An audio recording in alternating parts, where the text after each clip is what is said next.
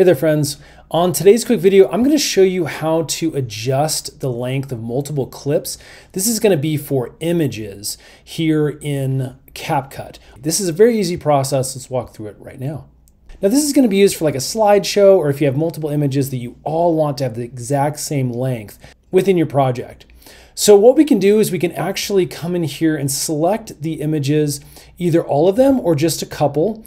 And basically, whichever images you select, in this case it would just be this two, are the ones that are going to receive that lengthening or shortening, depending on what you're going to be doing. So in this case, I'll select all four of these images here.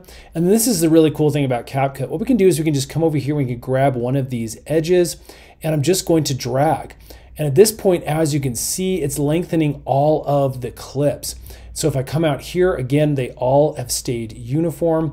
And again, this works really, really great. Once you drop in clips or images into CapCut, they're all going to default to that previous screen's length.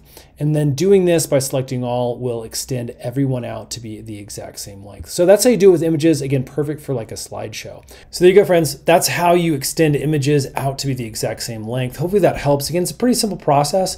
Hopefully this makes your CapCut project just a little bit easier. If this has helped, hit that thumbs up button. Stay tuned. We're making a ton more of these little CapCut tutorial videos to make your life just a little bit easier. We'll see you again on the next one.